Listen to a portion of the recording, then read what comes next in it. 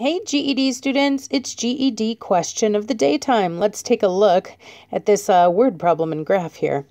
It says the bar chart below shows the results of a survey question asked of Mrs. Chin's fourth grade class, who were asked, What type of pet do you own? And then it says, What is the mode of the data? What is the mode of the data? So I take a little bit of issue with GED students in and of that. They memorize how to find mean, median, and mode and range, uh, sometimes without really understanding what these things mean. So let's remember that mode is the most common item in a data set, the most common item in, in a data set. Now, students who don't really understand what I mean by this phrase, will often give me a very weird answer to this question. So I'm actually going to start with the wrong student answer that students give most of all. They'll look at this graph and they'll say, okay, let's see, six of the students said none, uh, five of the students said other, two of the students said turtle. They kind of look through it that way.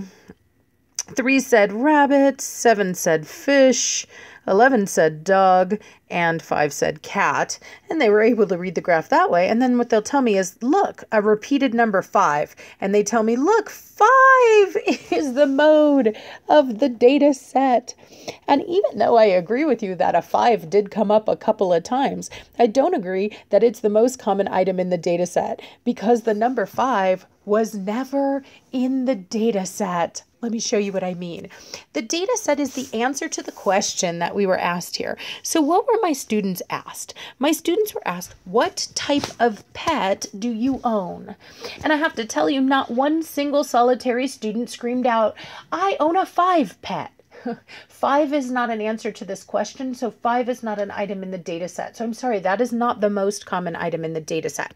Don't be fooled thinking be- just because you're doing math, the answer has to be a number. The most common item in the data set is the most common response to the question.